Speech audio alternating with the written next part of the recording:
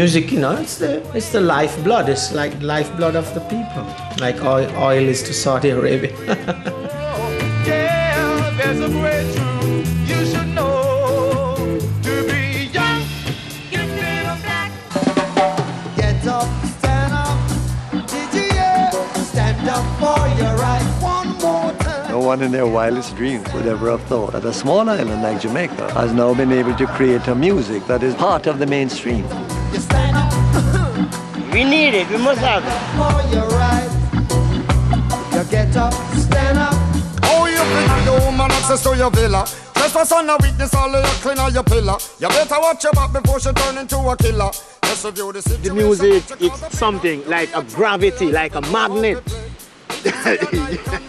it insists to, to, to, to, to hold on to you.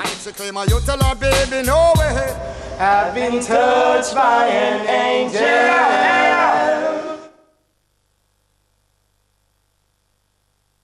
Forward! March!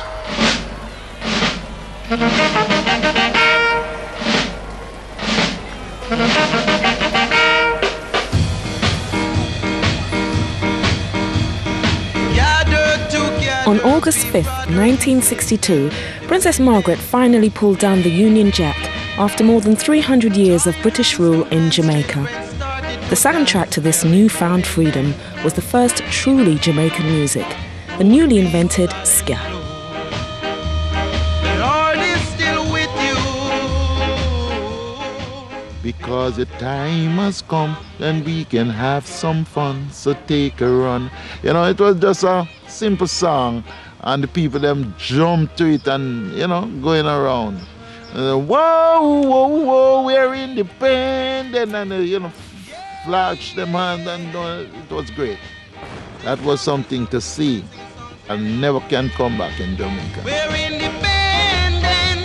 Yeah, yeah. Independence came at that time when Ska wasn't in speak. Yes. And so it was just jubilation all around. You understand? You know, with the, with, with the acceptance that we were now a free country and Ska in its speak. And, and everyone just went, went crazy for it.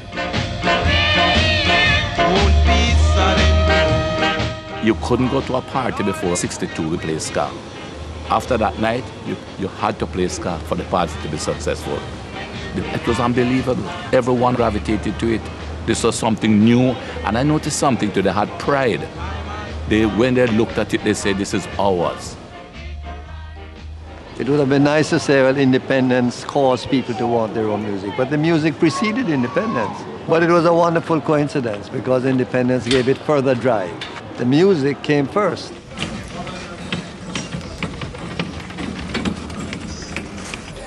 The story of modern Jamaican music starts in the early 1950s in the poorer areas of downtown Kingston with the emergence of a uniquely Jamaican phenomenon, still at the heart of the music 50 years later, the sound system.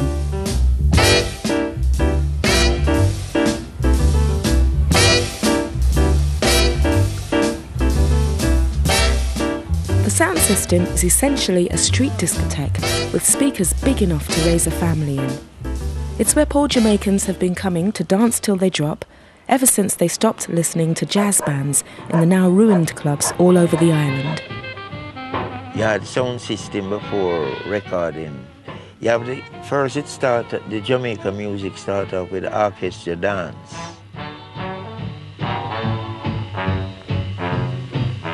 But when the sound system came in, they replaced the musician because people used to hire these bands to play, but the musician used to stop and eat a lot of curry goat, so it, it, burned up a lot of time until, you know.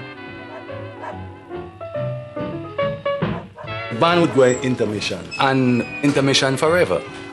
So the people got to get fed up of this no dance within the dance. So in the intermission, they made a mistake. They agreed that the first sound system should play in the intermission. That was the end of them. I never turned back. It was all about rhythm and blues.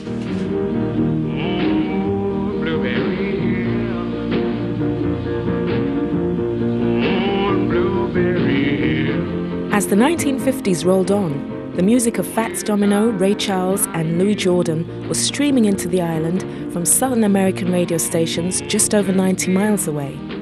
And with the sound systems blasting it out most nights of the week, downtown Kingston went dance crazy. And like any craze, it was rich with opportunity. People used to make money from it. You sell your own beer and you sell your own curry goat and rice, and you got the sounding system from 8 o'clock till like 6 in the morning, and they eating and dancing in the street.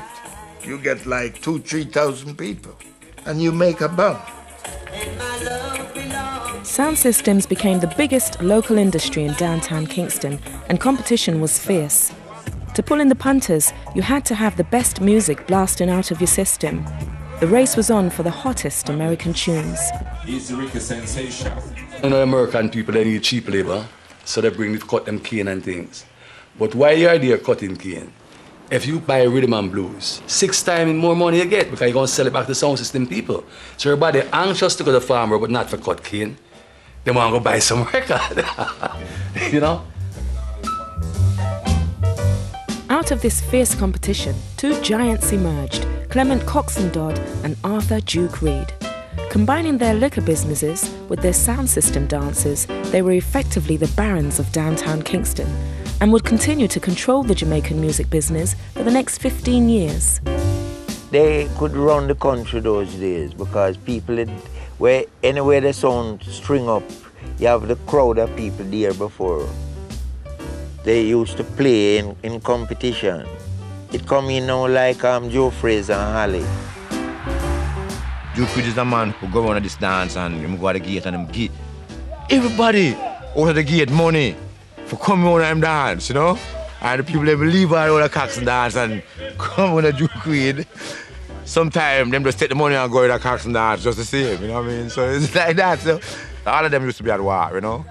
Oh, the sound system thing, man. It's, a, it's, a, it's, a, it's a traditional thing. You, you can't stop it. It, it, it come from way back, you know? Come on. Yes, suddenly rum is served to sophisticates because suddenly Jamaican rum has regained its place among the great drinks of the world. Duke Reid had a rum there where him, it don't sell in the stores. If you think rum is strong, you ask about rude to your parents. When you throw water, you know what happened? Yes. In it. What you think? Smoke. Little smoke, vapors thing right? And that is what the brother my drink. Like they have cocaine now, that was for them cocaine. So after Reid, give them two drink a root to your parents and send them go Coxsone dance. The dance done. People are jump fence to get out the fast fast.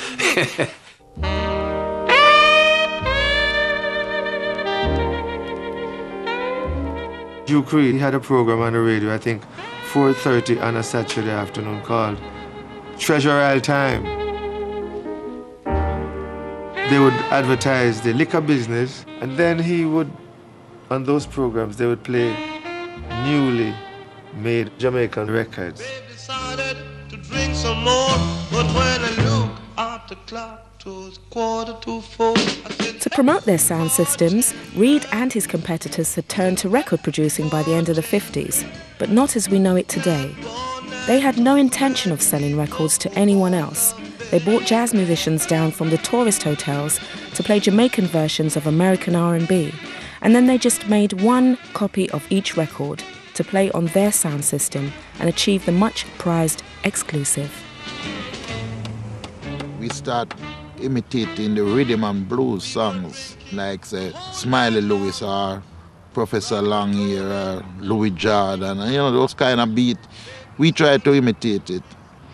It didn't turn out that way, so we decided to keep this as our own type. That's how that can come in.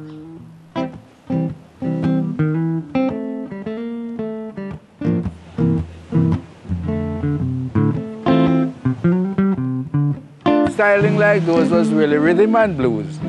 What we did to this rhythm and blues is like you'd be doing one, two, three, four, one, two, three, four. But the, the, the scanner we change it to one, two, three.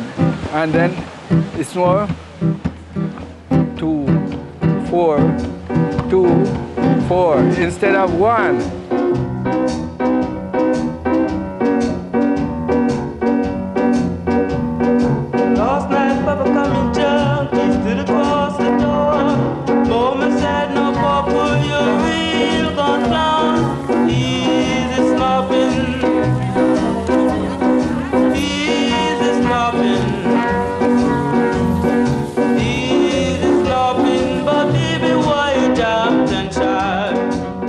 Jamaica's first musical revolution. And we call it ska. And then ska was a dirty word. But what it was, it was um, terribly influenced by Jamaican activities of the people, you know. Culture Jamaica was pushed into it. And when the people took it on that fast, right, they got to just grab to it because it was them.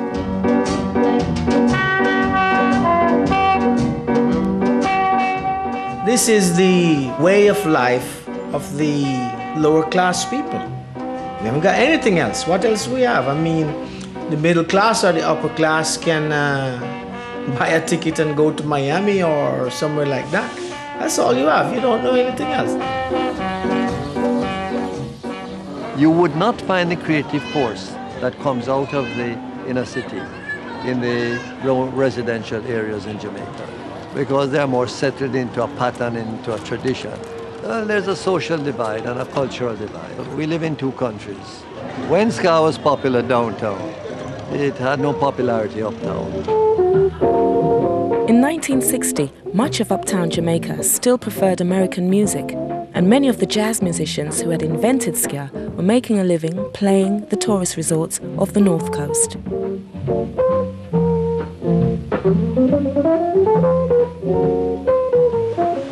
To have a serious type of class prejudice in those days, let's call it that way. you know, and it would have hurt my career in a certain sense. You couldn't go up, uptown and play ska music, so it was really like a, an outlaw type of music, you know. In 1960, Prince Buster started his own sound system. To steal a march on his rivals, he approached the ultimate outcasts of Jamaican society, the Rastafarians, who since the 30s had looked to Africa rather than Europe as a model. He persuaded Count Ossie and his master drummers down from the Wareika Hills into a recording studio.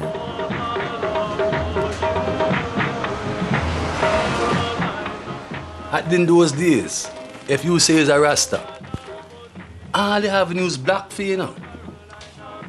And when I make Carolina, that give the Rasta, whole Rasta speak. Because now, them, it was not the music world, them could play upon sound system. And if you play upon sound system on the island, everybody go hear you. In the early years in Jamaica, the Rastafarian community went under so much pressure, you know. At one stage, I'm order, I think there was a decree in Jamaica. Mm, to kill the Rasta To man. kill the Rasta man and question him Kill after, them. you know. And then Count Ossie. Countazi. Count Ossie, you know. You know, 90% of all the grassroots music was really played or created by the Rasta people, you know. Rasta and Jamaican music have been inseparable ever since. Even at the independence celebrations, Count Ossie and his troupe were part of the pageant laid on for Princess Margaret, whose reaction remains unrecorded. we brought with us most of the music of Africa.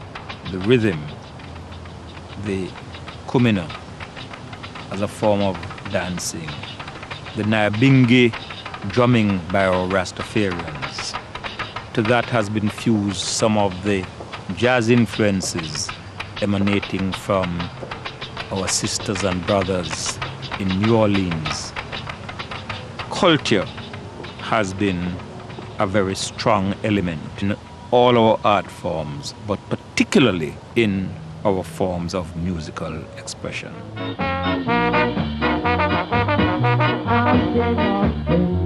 a Lord of Lords in this land.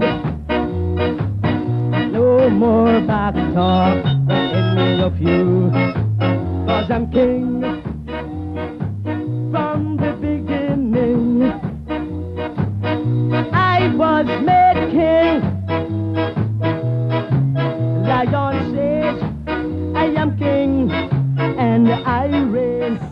developed from was uh, calypso.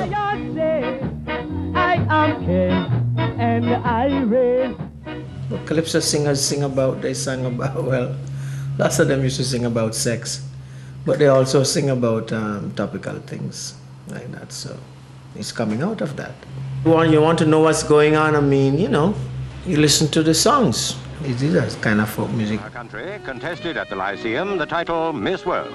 They numbered 40. The emerging nation was full of optimism, and with prosperity increasing, everybody wanted to own the ska records that up until now they only had heard on the sound systems.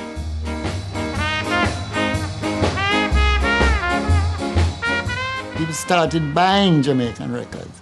Jamaican records was accepted as the record um, to buy because you're hearing yourself. You're hearing things to do with you. All I want to know. Eager to capitalize on this new market, the sound system operators reinvented themselves as record companies. Prince Buster's Voice of the People, Duke Reid's Treasure Isle, and initially the top label Coxsone, run by the taciturn Clement Dodd. He was the first to realize that you could make a living beyond the sound system. With his profits, he set up the legendary Studio One, the first recording studio in Jamaica to be owned by a black man. Studio One was um, a permanent place that um, people recorded almost every day. We we were always free to go there and record whenever we feel like. And these are the kind of facilities that you got that made it a special place, you know, because it's like home, musically.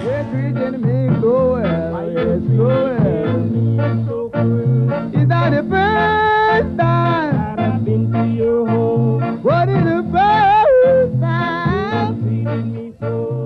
time? Studio One is like Jamaica's Motown. That's where all the great artists, you know, we say they graduate at this place, Studio One. This was like a nine to five job. We went there early morning and we would record all day. But don't you hear I call you back? And I went in there at seven. I used to live at Mr. Dodd's house with his children. Yeah. So every morning, I'd go to the studio with him and open the studio. He would pick up a, a, a- an assistant. His name is Bim Bim. Yeah, Bim Pick Bim, up yeah, Bim Bim yeah, man. first. We'll go to the studio, we'll open the studio, make his rounds. Every day we'll close the studio every night, drop Bim Bim home. It's like like heaven. Just like in the old days of the sound system, Coxsone constantly needed new sounds to stay ahead. Every Sunday morning, young hopefuls gathered in his yard, hawking their songs and looking for a shot at the big time. The longest liver will see the You listen to all them guys go up and sing. You know, and every time, but you know, we would sing around around the side, you know, and they would say, You're so good in you know. And every time them say, You're a turn man. I say, No, make them go on, make them go on. When I, I, I saw Coxsone himself did an audition, right? Or some auditions too, before I started that. And he would tell artists that they figured weren't ready or didn't want them back. I said, okay, um, come back seven years time, you know? It was six o'clock in the evening. I was the last person to go up. You know, the place was still packed. And, you know, my first song, You Got to Be Sure of a Woman's Love. And everybody crowd around, man. Everybody say, you're the voice, yeah. You the voice. Everyone crowd around, you know, and Mr. Dodd say, Nice. And the Tuesday, I'm going to do my first two songs. Another group of youngsters signed by Coxsone were the Wailers, Bunny Wailer, Bob Marley, and Peter Tosh. In 1964, within a year of Studio One's opening, they sold an astonishing 70,000 copies of Simmer Down.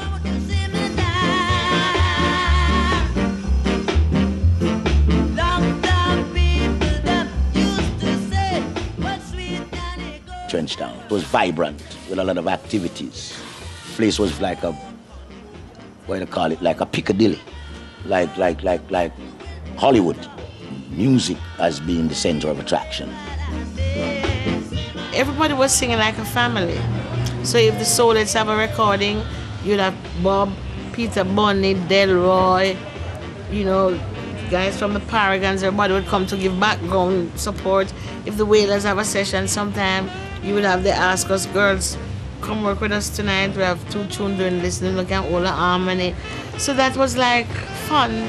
We weren't being paid because Coxsone, we, we didn't get money at that time. Sometimes we get money to buy us a patty or cocoa bread and if we're going on Fridays we would get a pound or 30 shilling or something like that. But we didn't have a problem.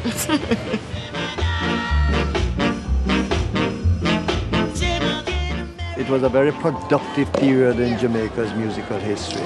Hit after hit, you know, every month there would be a new hit for different singers. And it, it, it was as if all the singers and the, the talent in popular music had been kept locked up in a cupboard. But from the first hit was made, it is as if the cupboard doors opened and all this talent just poured out.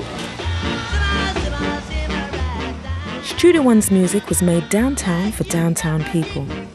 The musicianship necessary wasn't that easy to achieve if you were poor in Kingston, but luckily there was also a downtown academy. If Studio One was Motown, the Alpha Boys School was the Juilliard School of Music.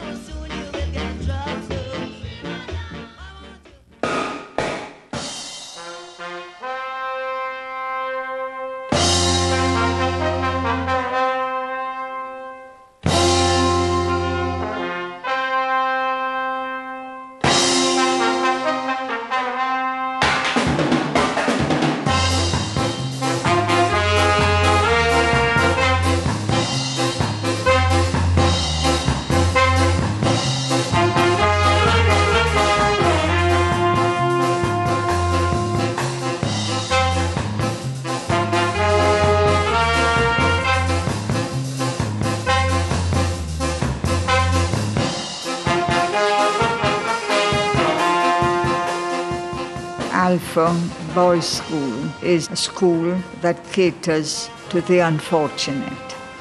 It teaches them trades that they can earn a living after they leave here, and some go abroad.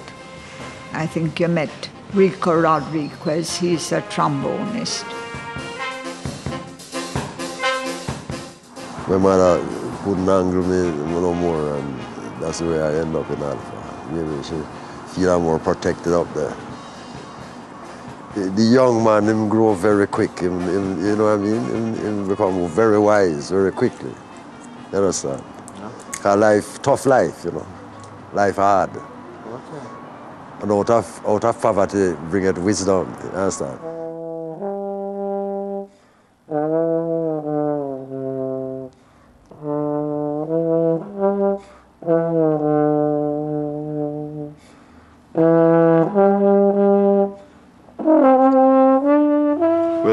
I'm here was because my parents abandoned me.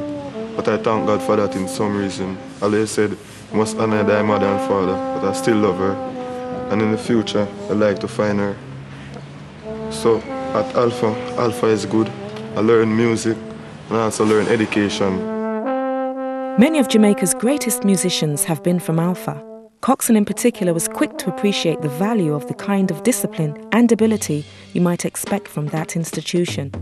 The backbone of his house band were largely Alpha old boys, and they became the first superstars of ska, the Skatalites.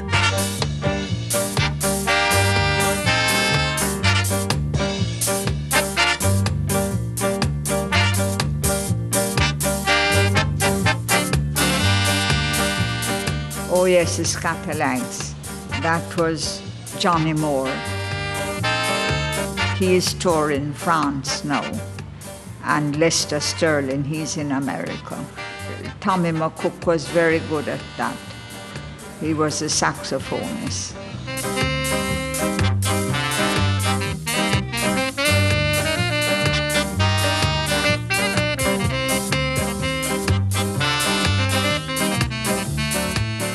You had Don Drummonds. He was very quiet. He loved his instrument.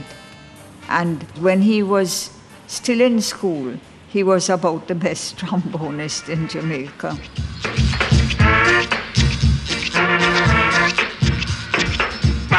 Skatalites were a great set of people.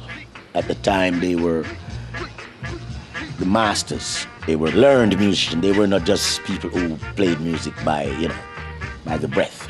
They were doing it by the paper. And we the Wailers were really enthused to be to have been working with the Skatalites. There came on the scene this talented aggregation, the most formidable array of talent which Jamaica has ever seen in a single band and dare I say is ever likely to see in the future.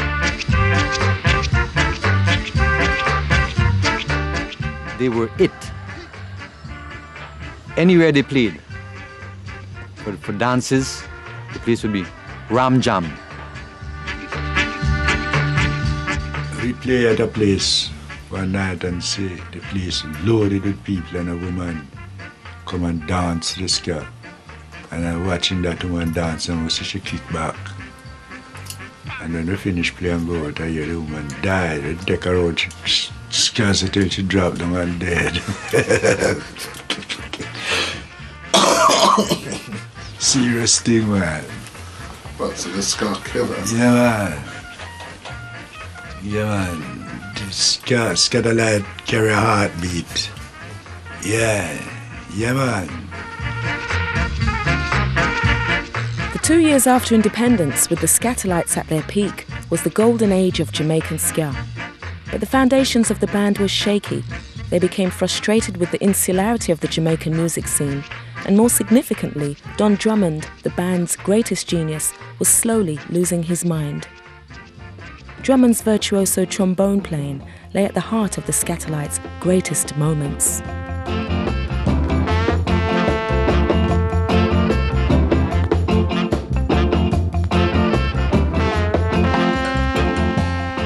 A lot of his compositions were minor chord tunes, smooth, more melodic kind of flow, while Rico would be more brassy and more like orchestrated, like, you know, to the beat. Don slides with it. Drummond took ska to new heights of virtuosity. He had a unique style with a disturbing emotional undertow that reeked of Africa and mirrored the demons in his head. He got in friendship with this lady, and um, he didn't like her dancing, and so that brought a sort of a bone of contention between them. Jealousy and the lack of material and career advancement built up disastrously in the mind of the introspective Drummond. And on New Year's Eve 1964, he killed his girlfriend Margarita.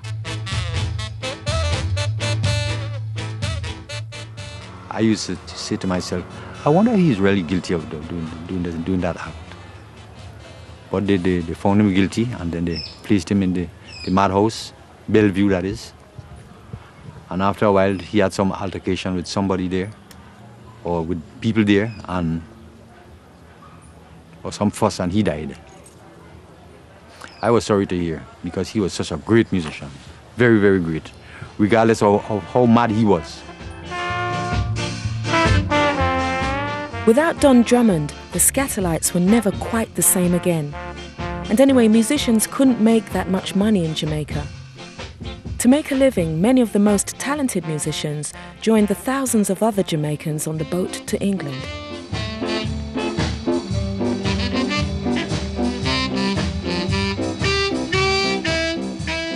I just want to change from Jamaica for me. me uh, me I play music long time and me not really play with no band or nothing, you know. So c- coming to England, try out my luck.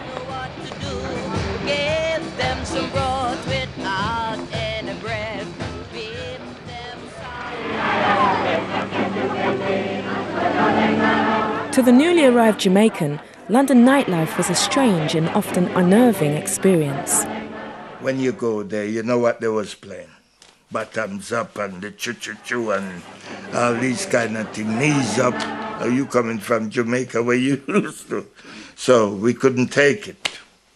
And the jazz club, well, it's never on. Every club you go in London is sorry, you, you gotta be a member. Won't let you in. Once you're black, you can't get in. You know what I mean? You couldn't get into Ronnie Scott, you couldn't get into Lyons Corner House, the big jazz club. So then I said to Vinny, look, you build a sound, we will support you and get the record like Jamaica from America. And this is how it starts. My parents were only here five or six, seven years until 1965. So it was almost like a letter from home, hearing rhythms, rhythm tracks from Jamaica. Shebeens and blues Shebeen, dances yeah. weren't No. just exclusively for, For people. black people. Yeah, It you know, started off exclusive.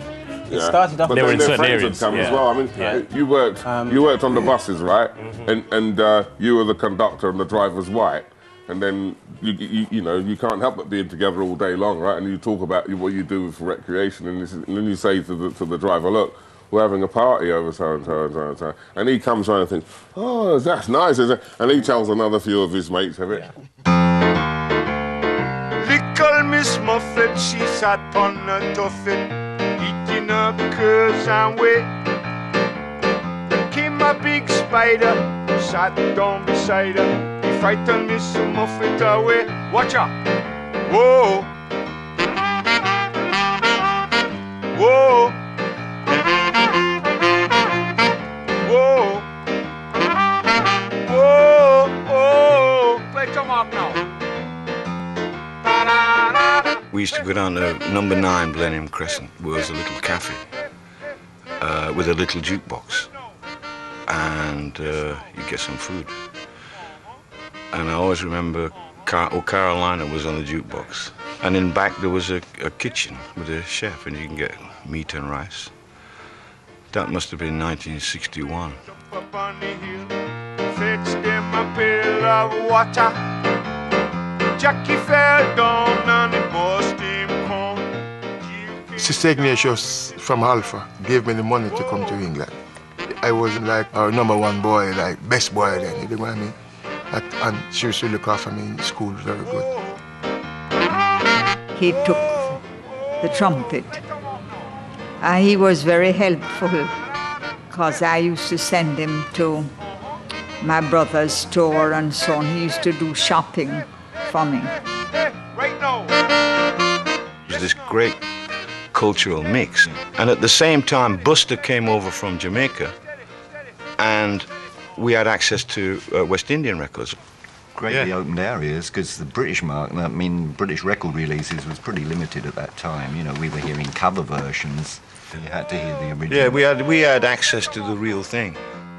You felt like you were at the start of something there. By 1962, the scene was big enough to move from West London to the West End. Soon, Count Suckle's The Roaring Twenties in Carnaby Street became one of the hippest venues in town.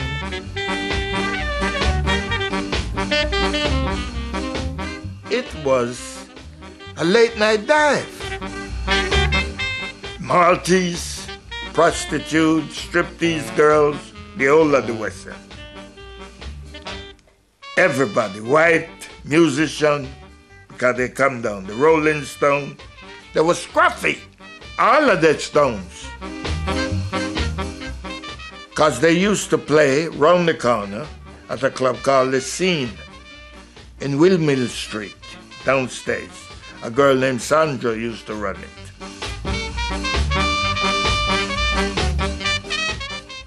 People was like coming at five in the morning sick. And that's when I met Christine Keeler, Mandy Rice-Davies, and Profumo.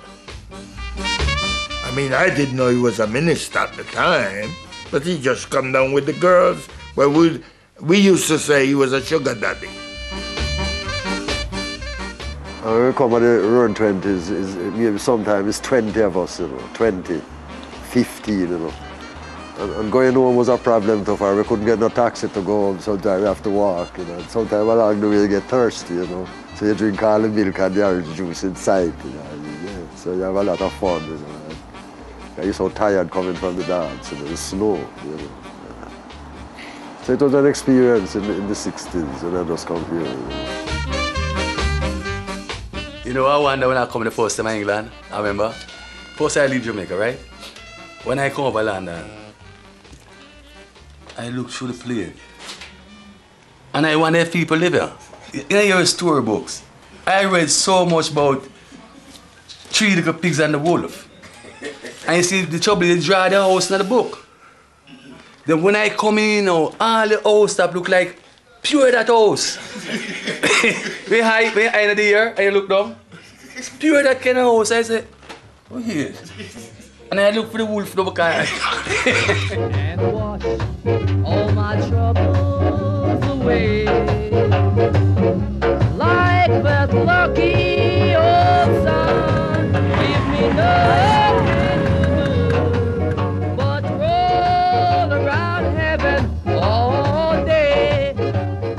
In Britain was distributed on the Blue Beat label, which was how it became known.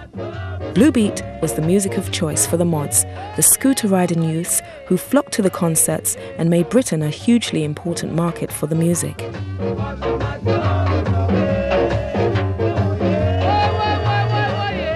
they saw me as a rebel and identified themselves as such. So there was some compatibility there. I think so because you, you should see them when I make my show. It's just come like me and them as one. And then protect me right through the tour. Like that lucky old sun, give me nothing to do. By 1964, Jamaican record entrepreneur Chris Blackwell was convinced he could get a UK hit with a ska record. He had the right singer in Millie Small, so he brought over Ernest Ranglin to London to provide the spark.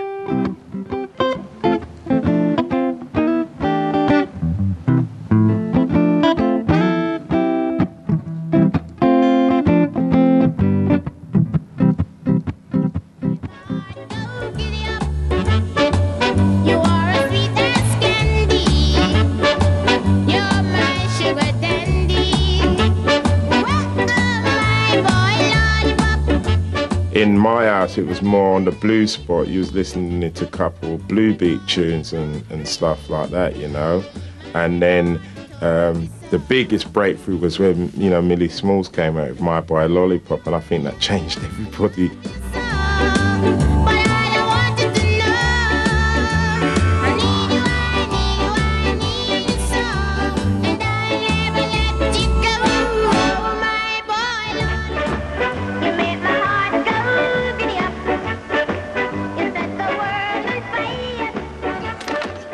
We started to get hits in England because that's where it became an international music, especially with My Boy Lollipop by Millie Small.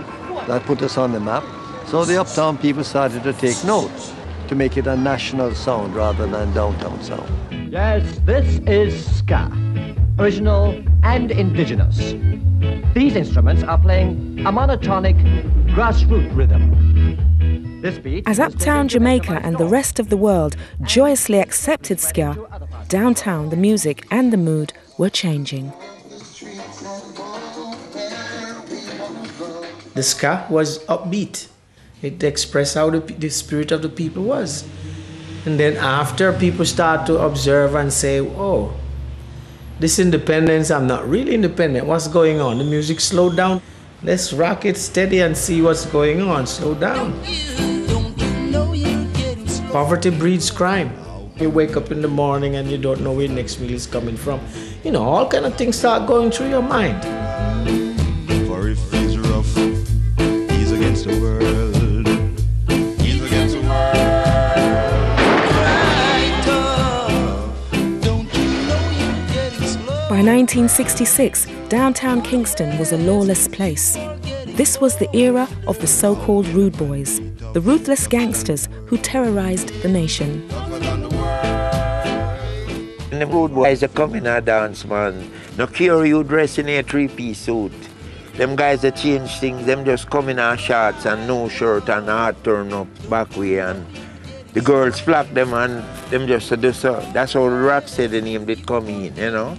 And the DJ have to play when they reach, you say, cry tough with Alton Ellis and anything you can do, I can do it better. I am the toughest and I'm a box of beer in the air and it mash. This guy come to me and said, his name Busby, he was a rude boy. When I say rude, I mean rude because he would travel with gun and he travel with knife and he would take any buckle and cut you, anything. Come to me one day and say, boy, I hear everybody I sing rude boy, cry tough and oh seven and them guys, I want you to make one of me. You just want boost me and I want it by Friday. And so I said, okay, I'll make you a song, sir. Strong like lion, we are iron. Rude is no fear. Busby listen and say, play it back. And so when we reach strong like lion, we are and just take out two of the beer and throw it against the wall and crash it and say, I am. Everybody get in panic now, you know, because they're afraid of him, because they know him, what he can do from what he won't do. The whole night is the one song, it coming like the dance stop. Rude is no fear. I don't know if he didn't like the song, what he would do. but anyhow, him did love it. Boys, rude is no fear. Rougher than rough, tougher than tough. But he didn't love it for long. He didn't love the song for long because he lose his life the following day. And we just cut out the rude boy songs eh, them and say, well, if it going cause eruption, just leave it there. All I need from you is a good conversation. As things hotted up downtown, people sang, and most of them escaped into old fashioned boy meets girl love songs. This was Rocksteady, Jamaica's first pop music, the era of singers who replaced the largely instrumental ska, and for many it was the most glorious phase in Jamaican music. Never felt this way before. I know there is some way today. it all came from the American um, R&B music, you know, because we're always um, being influenced by the impressions, all them soul R&B groups.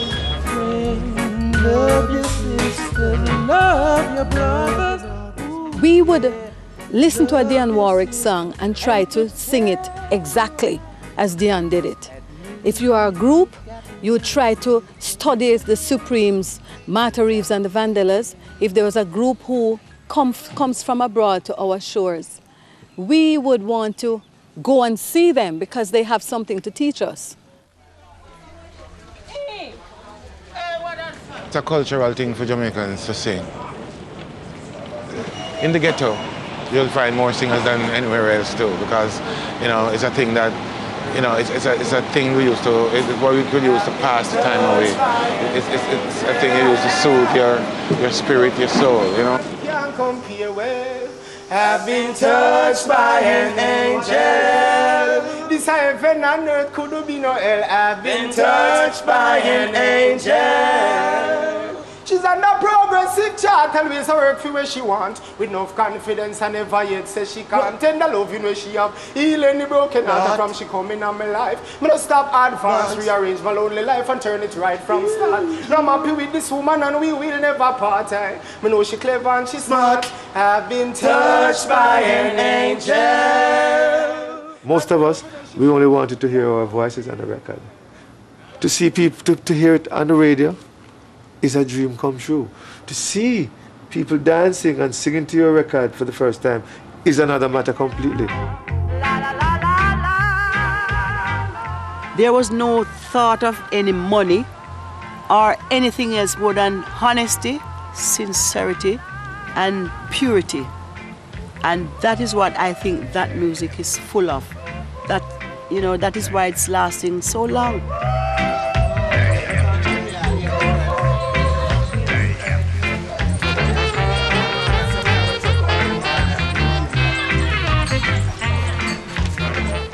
Songs lived. You'll have a song, man, one year straight. Selling for one year, not a little thing like some tune come and just sell for one month and done. Them tune they sell and never ever die. People still buying them. My biggest sales in this store is um what is? And I have everything up to date, and I'm up to date. Rocksteady saw a power shift in the music industry. It was still dominated by the former sound system bosses, but Coxsone and Studio One would never be quite the same force again. Many of the artists, like the Paragons, Alton Ellis, and the Melodians, promptly signed up with his old rival Duke Reid, who still ran his own sound system and realized the potential of the more easily danceable Rocksteady beat. When the first song came out, like Alton Ellis sing a song called uh, Girl I've Got a Date. Doom, doom, doom, doom, doom, doom, doom, doom, boom, boom, doom, doom, doom, doom, doom, doom. And when Duke Reid put on that song, I was there. They had to play the song about one dozen times. And you can see this guy was very fast. He had to spin, he had to dance, he had to dance in a fast pace. So what we did was, at the time, most of them had the same bass line because the bass man didn't have enough time to emphasize on his bass line. So what we did was cut it down a little so the bass man could more move his fingers and have a line. So that's how you come to have these reggae lines. Do do do do do do doom doom. Do do do do do do doom. You know, you give him more time to do that. In the ska you couldn't do that. Reid's Trojan sound system had been notorious for the vicious fights that often accompanied his dances. Experiences which made the ex policeman the ideal man to set up his Treasure Isle studio amongst the rude boys of downtown Kingston. He was a no nonsense man. He never harbor any foolishness. Police used to go and come. If if you're a rude boy, you have to leave your rude boy business outside, right? Then Joe could have see you. As I say, he was a no nonsense man. And this is the studio over there on top. Was the studio. Know, his, engineer was, was a man called Smitty. One of the best in Jamaica. Mr. Smitty, his engineer. Now down here was his liquor store. You'd have a lot of boxes on the, on the roads with liquor and drinks and all that, and nobody take anything. Well, you, you see, Duke, he's respected around the area, and he's well armed. He got at least three guns on him. One long one, one on his hip, and one on his feet. That's Duke, the first gunman in Western Kingston. If Duke even not in the studio, him have a box downstairs in him liquor store. And when everybody upstairs dancing, so boy, this gone, this gone. And out of nowhere, blago, boom, boom. And that, that Duke fire shot and the whole studio get quiet. Then you see the big man, he will run up the stairs. Say to Tom McCook and all those people, what are you playing? I don't want that. I want this, I want that. You know, everybody, got, everybody just shut up and listen what he said. Then you had a on man, he's dead now, named Marquis. So listen, and Duke, say play it back, Smithy, and quiet, and Marquis put out him head like this and say, yes, yes, the boss was right. The two need a 17 there, sir. Rocksteady lasted 18 glorious months, but finally there was no escaping Jamaica's worsening conditions. Bass lines became heavier and the subject matter more socially concerned. Them a loot, them a shoot, them a wear and we give me money.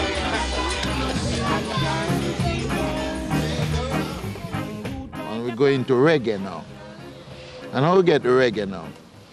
Reggae is a different changing of the drum. We, we, we have the drum playing more burru-like. Oh, I don't know if you understand, like tap ta da pa da pa pa da pa da pa pa da, and change the, the, the bass pattern. If the music even slow, it make it sound like it fast. So that is the reg- what the reggae do to the rocksteady. And that was it. Reggae, reggae, reggae, reggae, reggae, reggae.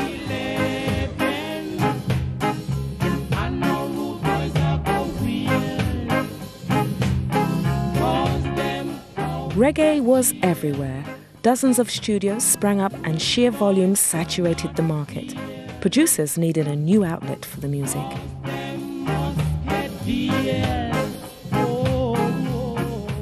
A guy was working with Island at the time named Dave Betteridge come out here and meet me and they invite me over to England in 68 and I see what the people love.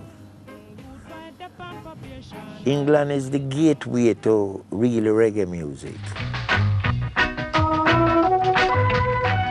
The English market became essential to Jamaican producers with its large and by now settled Caribbean community.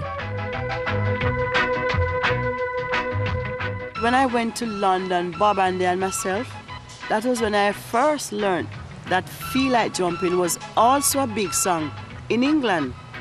I was, we were just in Jamaica not knowing what was happening. What was happening was that by the late 60s, companies like Trojan Records had spotted the large underground following that had developed for this new reggae pop music.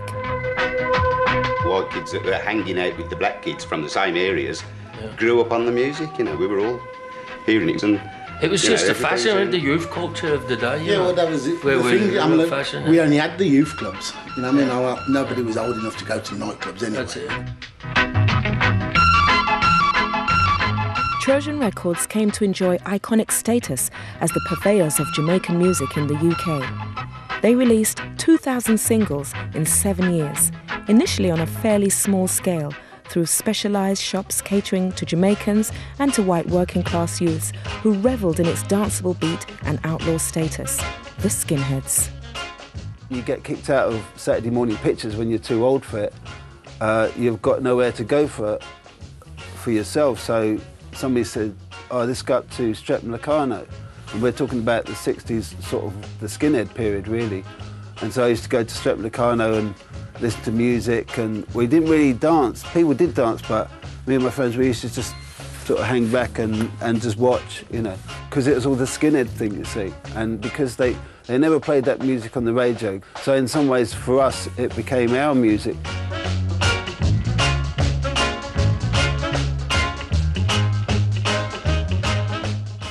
The Skinners at the time were really into reggae. I mean, they are branded now as what you call a neo-Nazi group that don't like black people and Jews. In my time, I was being protected by the Skinheads. Look, I've been to a town that was like Guildford was a racist town in my time. And this guy said to me, hi, Mr. Black. So I said, hi, Mr. White. And he spit in my face. I said, what the heck? So the kids wanted us to beat him. But I said, no, forget it, man. I just wiped the spit off and that was it. what was happening, it couldn't be denied that this was developing into something that was becoming more and more commercially interesting, commercially successful. As more and more people discovered the music through the clubs. And that was making for all sorts of problems for us because we just couldn't get past we couldn't get past this door. BBC, I'm on my way. Oh, yes, I am. Long walk to the BBC, but I know I'll make it someday. I think there was a perception um, amongst the reggae labels that the BBC dismissed uh, reggae to a certain extent. To be fair, I think possibly, yes, I think they might have a, a slight case there.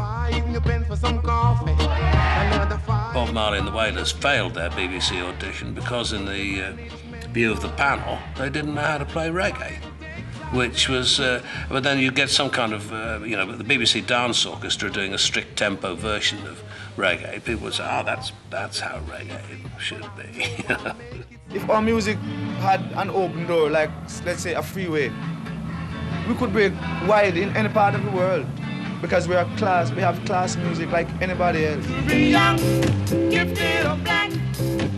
Open your heart to what I mean.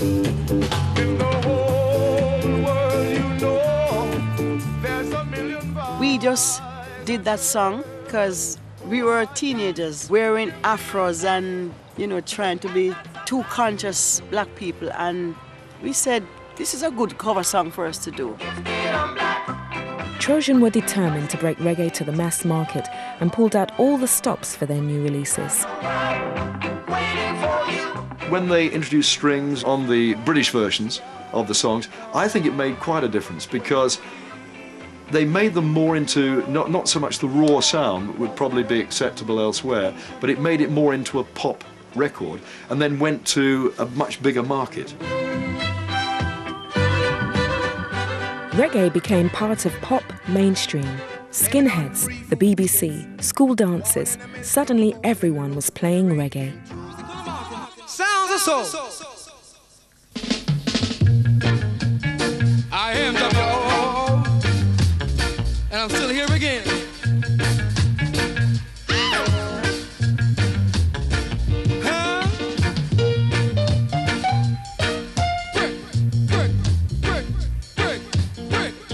And Ansel Collins went to number one, as did Desmond Dekker. Jimmy Cliff, the Skatalites, Prince Buster, and Ken Boothe all stormed the charts. And everyone loved it when Max Romeo turned out to be a new kind of rude boy. Of course, there was the wonderful Max Romeo Wet Dream thing, which was uh, just such a great pop record. Or that, obviously, the lyrics, on, you know, you can see why they had a problem with that lie down, girl, let me push it up, push it up.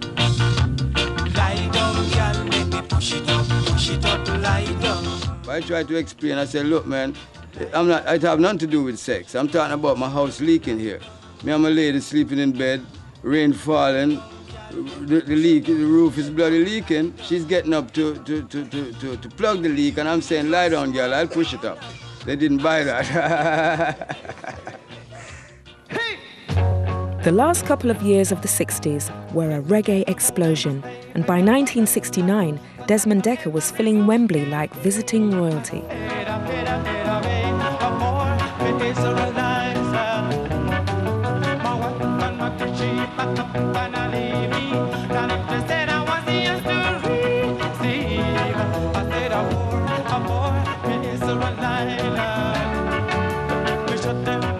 that reggae pop music. I suppose, you know, we were beneficiaries of it as well. You know, the, the doors had been opened and people have been softened up enough to to start listening. You know.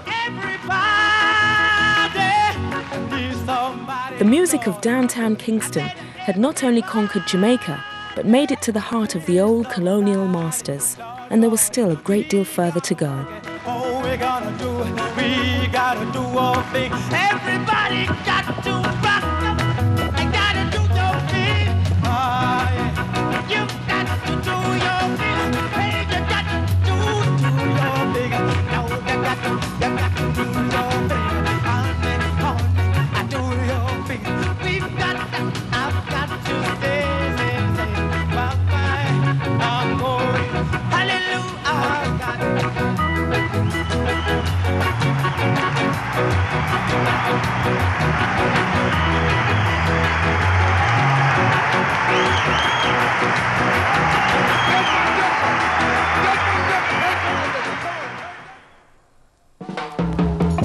Part 2 next Sunday at 8 on BBC Two